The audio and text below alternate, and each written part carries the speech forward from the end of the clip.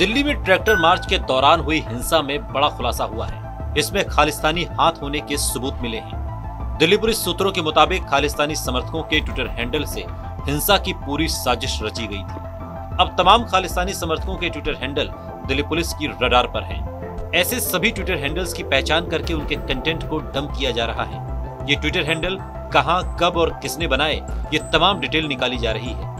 ऐसे Twitter handles में कई भड़काऊ पोस्ट मिले हैं। आपको बता दें कि 26 जनवरी को किसानों के ट्रैक्टर मार्च के दौरान हिंसा हुई थी। इसमें करीब 400 पुलिस वाले जख्मी हुए थे। किसान दिल्ली के लाल किले में भी घुस गए थे।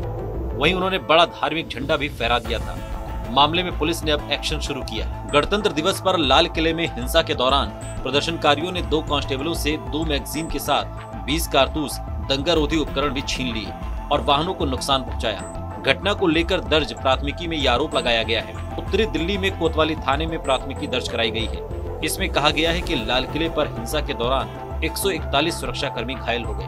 प्राथमिकी के मुताबिक प्रदर्शनकारियों ने बंदूकें भी छीनने का प्रयास किया, लेकिन दोनों कांस्टेबल अपना हथियार सुरक्षित रख पाने में कामयाब रहे। हालाँकि वे मैगजीन नहीं बचा सके। पुलिस ने आईपीसी की धारा एक सौ छियासी यानी कि लोक सेवक के काम में बाधा डालना धारा तीन सौ तिरपन, यानी कि लोक सेवक को उसकी ड्यूटी से रोकने के लिए हमला करना।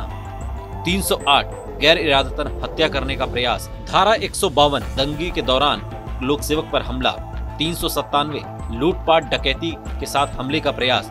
और 307 यानी कि हत्या के प्रयास के तहत आरोप लगाए गए हैं। खबर आपको कैसी लगी कमेंट बॉक्स में हमें ज़रूर बताइएगा। साथ ही देश और दुनिया की तमाम बड़ी खबरों के लिए देखते रहिए TV nine Bharatvarsh.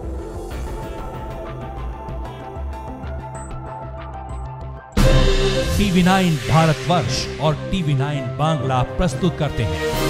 पश्चिम बंगाल चुनाव पर सबसे बड़ा conclave. What Bengal thinks today देखिए 30 जनवरी दिन भर।